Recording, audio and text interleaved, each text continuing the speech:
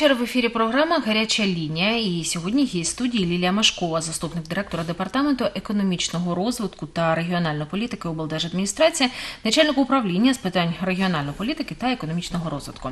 Доброго вечора. Ми раді вітати вас в нашій студії. Е. Пані Ліля, ну сьогодні така тема у нас державна підтримка регіонів. Е, Так, Е, власне, якою є державна політика відносно направлена на розвиток регіонів сьогодні? Давайте з таких загальних питань почнемо.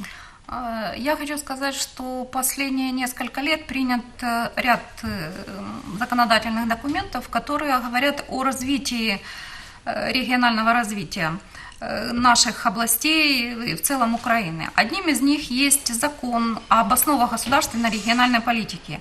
Этим законом определены м, э, основные цели его это динамическое и сбалансированное развитие как областей, э, как всех областей нашей Украины, так и самого, самого государства.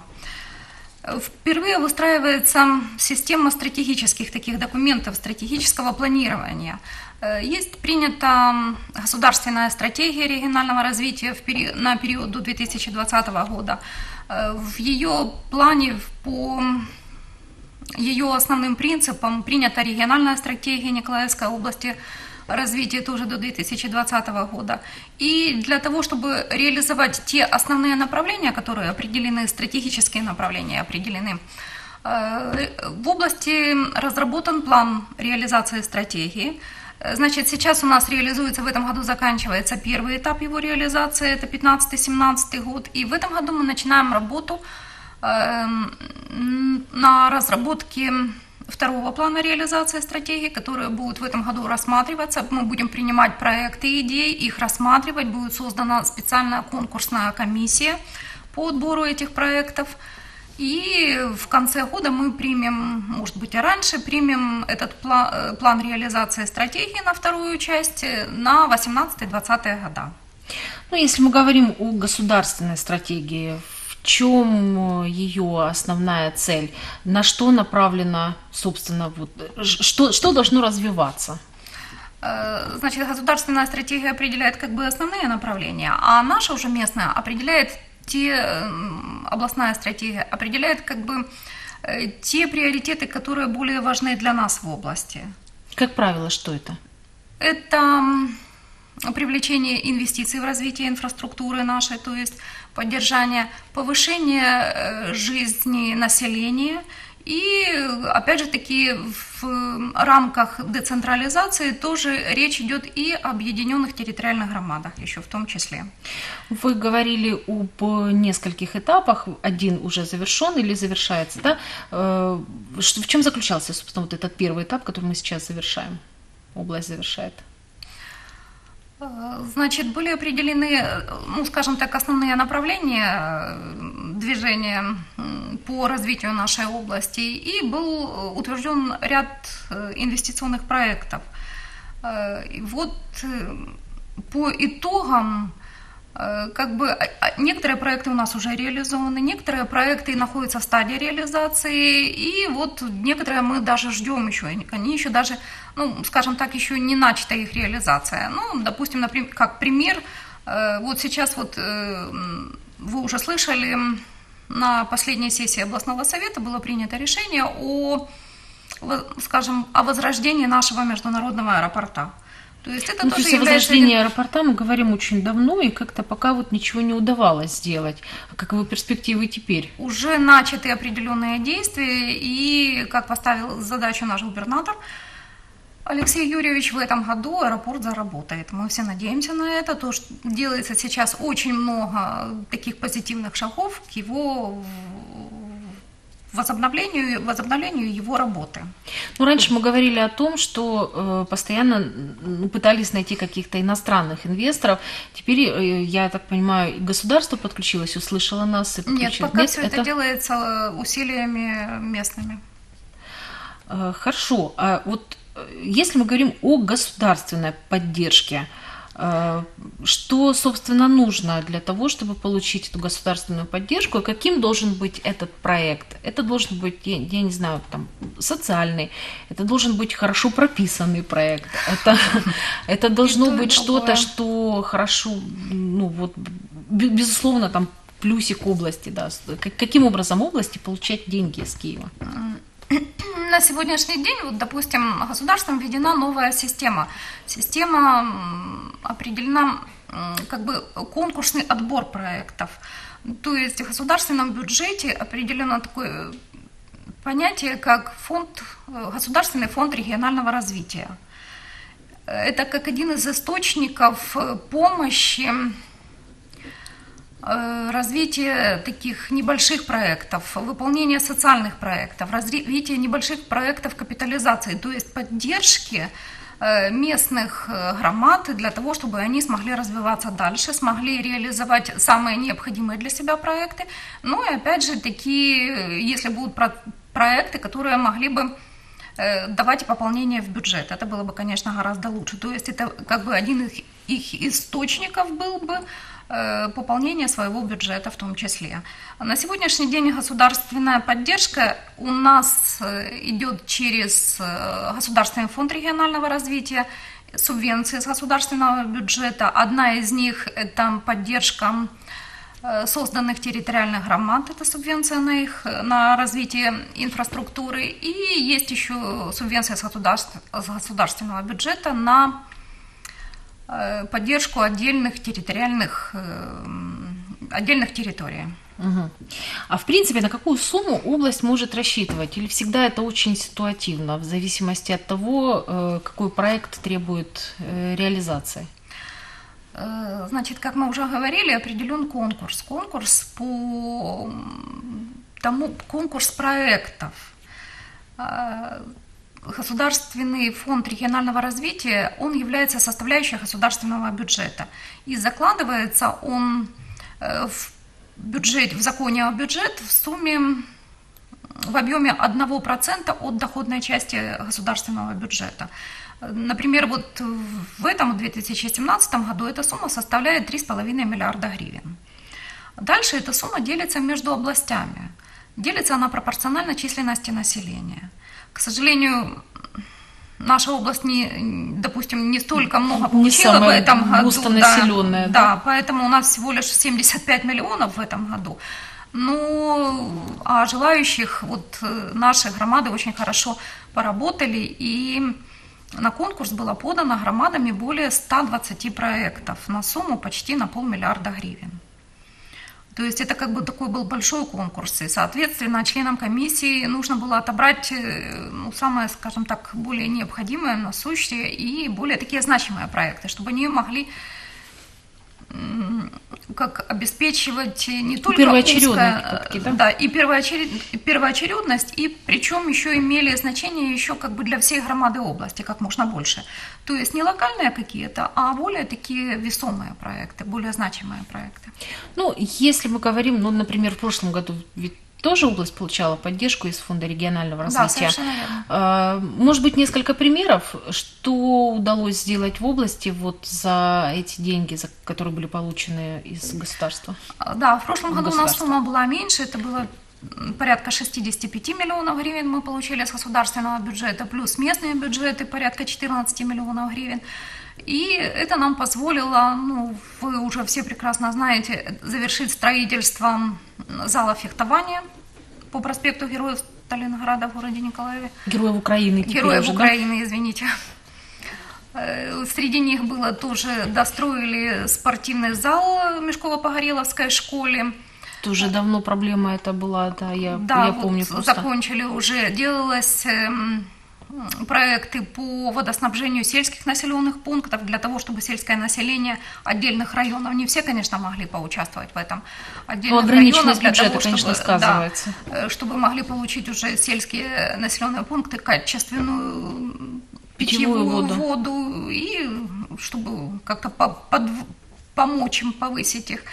Среди них были и объекты медицины, э, образования, И вот, допустим, как еще один такой большой масштабный проект был, э, там была создана диспетчерская служба скорой медицинской помощи, которой до этого у нас не было. И реализация... А вот э, если можно чуть подробнее, то есть всем нам казалось, мы звоним в скорую помощь, и вот там сидит диспетчер, а оказывается принцип работы сегодня абсолютно другой? Э, да, сегодня то, что она подключена к сетям коммуникации, она теперь может предоставлять услуги гораздо быстрее, скажем так.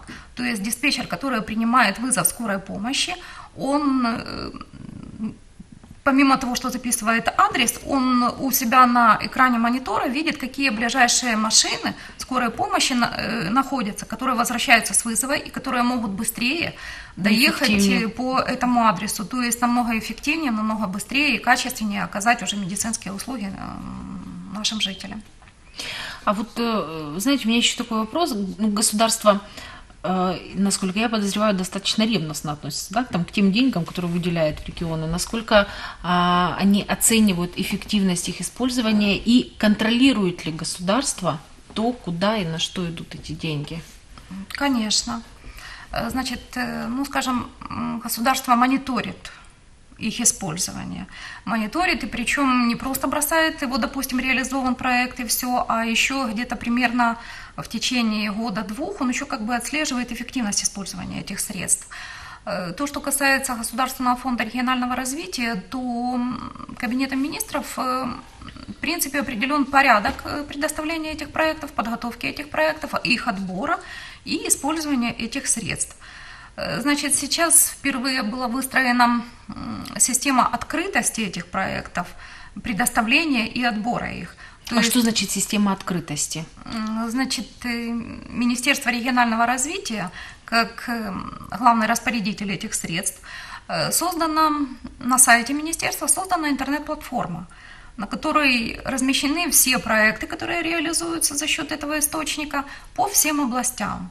То есть вы можете зайти, каждый желающий открыто может зайти на сайт министерства, посмотреть эту платформу, посмотреть, какие проекты реализуются, насколько они реализованы, какие проекты поданы и какие реализуются. То есть это сейчас информация очень открытая и доступна сейчас для всех. Потом конкурсный отбор у нас э, проводится в системе онлайн. Перед проведением конкурсного отбора мы на сайте администрации размещаем объявление о проведении отбора э, и идет открытая онлайн-трансляция проведения самого конкурса. А вы, например, вот на, на местном уровне вы можете э, осуществлять такой, ну, предотбор, прежде чем вот э, эти проекты уже стартанут дальше? А мы так и делаем. Так и это, да, эта система так и построена. То есть у нас создана комиссия по предварительному конкурсному отбору. Значит, э, как это все происходит? Угу. Значит, Обл. администрация размещает на своем сайте объявление о том, что начинается конкурсный отбор проектов. В этом объявлении указывается сроки предоставления документов, перечень документов, э, формы и технические задания, по которым, э, по которым будут предоставляться проекты. То есть не все э, направления, а, допустим, какие-то определенные направления. Это решается на комиссии. И вот в сроки, установленные в объявлении, заявители подают документы, вернее, подают свои инвестиционные проекты. После этого мы их как бы изучаем все, проводим заседания конкурсной комиссии, члены комиссии имеют возможность ознакомиться с ними, и они их оценивают в онлайн-режиме. То есть то есть такая достаточно прозрачная процедура происходит, да? Да, то есть каждый член комиссии, как, как он их оценивает, он заходит на интернет-платформу, у него есть определенный доступ, у каждого свой. Только он видит, как он оценивает проекты, какие он ставит оценки, и изменить их уже потом нельзя. То есть э, то есть та ситуация, когда стоит очень внимательно изучать. Да, то, изучить, э, как бы ответственно отнестись к этому. И я бы хотела остановиться еще на составе нашей конкурсной комиссии. Да, вот я себе пометила, кто, собственно, составляет э, комиссию. Значит, состав конкурсной, состав конкурсной комиссии утвержден распоряжением главы администрации. В него входят как представители обл. администрации, депутатского корпуса областного совета, входят э, общественные организации, но общественные организации те, которые занимаются вопросами социального и инвестиционного развития. Ну, в смысле, то есть э, ну, более при... те, которые Профильные, занимаются, которые- да, которые профильные, вы правильно говорите. И а, э, эксперты международно-технической помощи. То есть комиссия довольно-таки э, очень представлена широко. А сколько разными- человек приблизительно хотя бы? М, Или сложно сказать? Нет, ну почему не так много? То есть там даже у нас э, по законодательству предусмотрен принцип такой. Одна треть, одна треть, одна треть. То есть одна треть у нас идет э, представителей обл. администрации, одна треть общественных организаций, ну и остальные, будем говорить так, тоже представляют одну треть. Это порядка 18 членов комиссии. Мгм. И каковы критерии отбора? На что вы обращаете внимание в первую очередь? Э, Значит, э, критериями отбора это является, насколько этот проект влияет, э, охватывает, вернее, территорию. Чем больше этот проект охватывает территорию, тем у него больше шансов получить более высокие баллы. Это один из критериев. Другим критерием является его решение, ну, скажем так, проблемы. То есть то ли эта проблема решается в целом, в комплексе, то ли эта проблема решает, частично решает, ну, реализация этого проекта частично решает эту проблему, или это какая-то минимальная, незначительная, ну, так, Ну, то есть то, средненькая, что, что маленькая проблемка, да, которую можно вот где-то так. Потом еще огромное, большое значение имеет еще участие со- э, местных органов власти, э, органов местного самоуправления. То есть м, реализация проектов предусматривает еще софинансирование не только с Не, государственного не бюджета, поверите, я вот тут прямо себе помечаю. Софинансирование. Как раз именно это слово. А, Да, софинансирование еще с местных бюджетов. Поэтому если сама громада заинтересована, что этот проект действительно им нужен, э, что он у них является приоритетным, когда они подают проект, они, значит, по законодательству обязательно условие это 10%. Это минимальная сумма с местного бюджета. Они могут э, увеличивать ее и делать, допустим, там 30-50%. Может быть, этот проект у них уже реализуется, может быть, он уже у них есть, но нужно э, помочь им. Значит, соответственно, они могут э, как можно вот, большее участие громады больше приветствуется, скажем так. Ну и, естественно, конечно, еще один есть такой вот критерий, по которому оценивается, это его значение от экономического до социального. То есть предусматривает этот проект получение прибыли или это будет чисто социальный проект, допустим, там энергоэффективность школы. То есть здесь экономия, да, конечно, с одной стороны он будет экономическим. Почему? Потому что будет экономия бюджетных средств на отопление и на содержание школы. Ну, с другой стороны, это школа, это неприбыльное предприятие. Э, Вы говорили о том, что, в принципе, есть определенные сроки подачи, правильно? Э, как- Когда и э, как- каким образом подаются эти документы для того, чтобы иметь возможность, допустим, в этом году получить государственную помощь? Значит, законодательство, законодательство определено так, что проект, конкурс мы проводим э, в текущем году на следующий год. Но в этом году, вот у нас буквально вчера закончился конкурс, так как были внесены изменения в законодательные документы, то есть сейчас отдельно бюджетный кодекс выделяет еще, а, и я хотела бы сказать, по каким направлениям еще у нас идет. Значит, э, это определены три направления. Соответствие стратегии, Э, Второе направление – это сотрудничество громад и э, помощь объединенным, э, добровольно объединенным территориальным громадам. Э, Значит, сейчас вот буквально в конце года, прошлого года, были внесены изменения в бюджетный кодекс и добавились отдельные такие три направления, которые мы должны уже предусматриваем сейчас. То есть мы немножечко как бы подстраивались уже под принятое законодательство, и нам нужно было дорабатывать.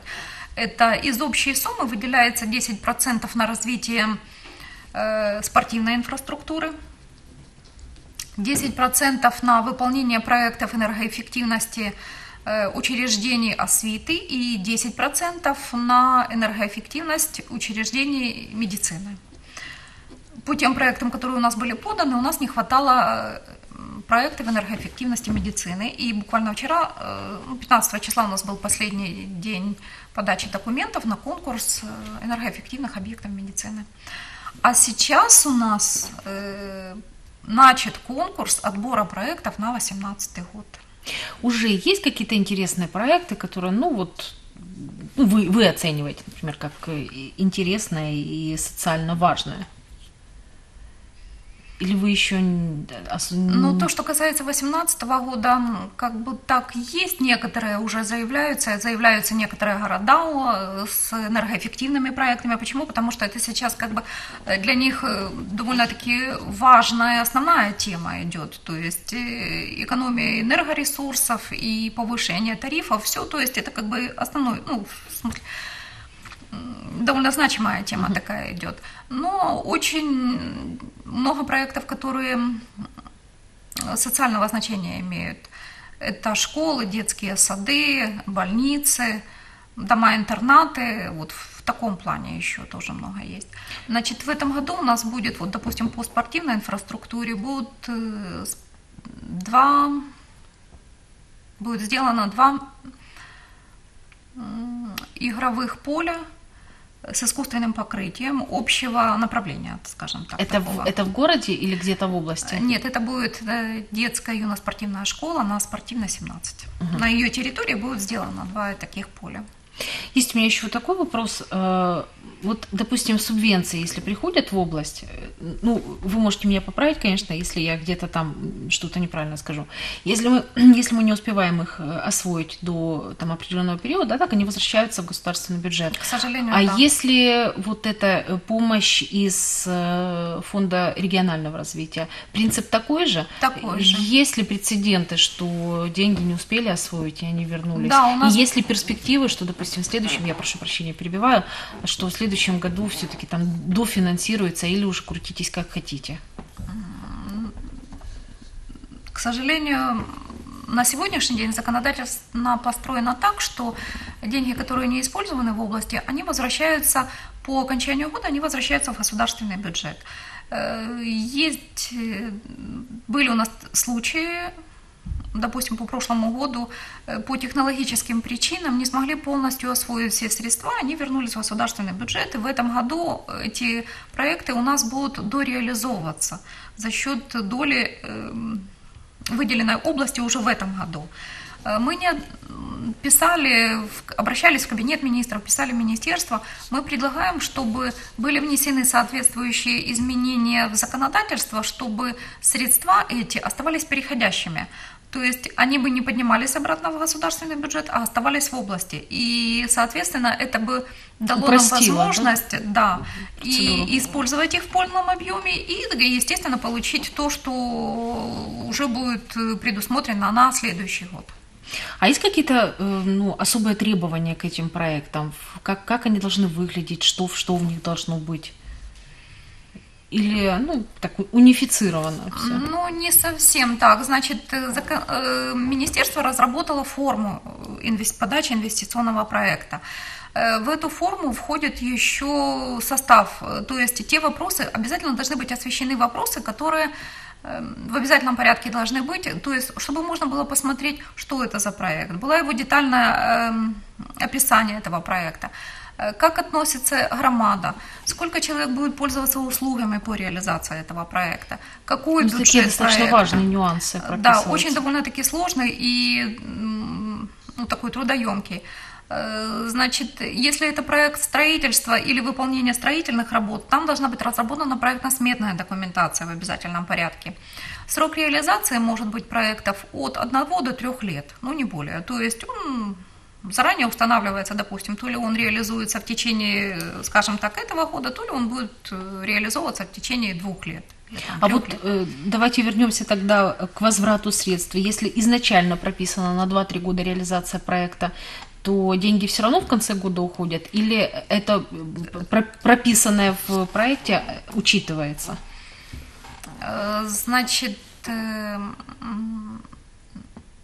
мы собираем проекты, собираем их, подаем министерству и законодательным актом Кабинет министров их утверждает. Потом идет их финансирование. Если проект, он у нас переходящий, допустим, с этого года он переходит на следующий, он выполняется в рамках той суммы, которая предусмотрена на в этом год. году, на один год он реализуется. И, соответственно, на следующий год он, мы его ну, он автоматически, так как он уже победил угу. конкурсный отбор, э, то, значит, вторая сумма, которая прописана в проекте, она уже, ну, как говорится, да, автоматически ему выделяется на его реализацию. Ну е, що ж, на жаль, е, наш час вже добігає кінця. У мене було ще запитання, незважаючи на те, що тема для мене не зовсім така зрозуміла, але цікава. І я сподіваюся, що наші глядачі дослухалися до ваших порад і до такої корисної інформації. Я дякую за те, що завітали до студії. На все добре вам. До свидания.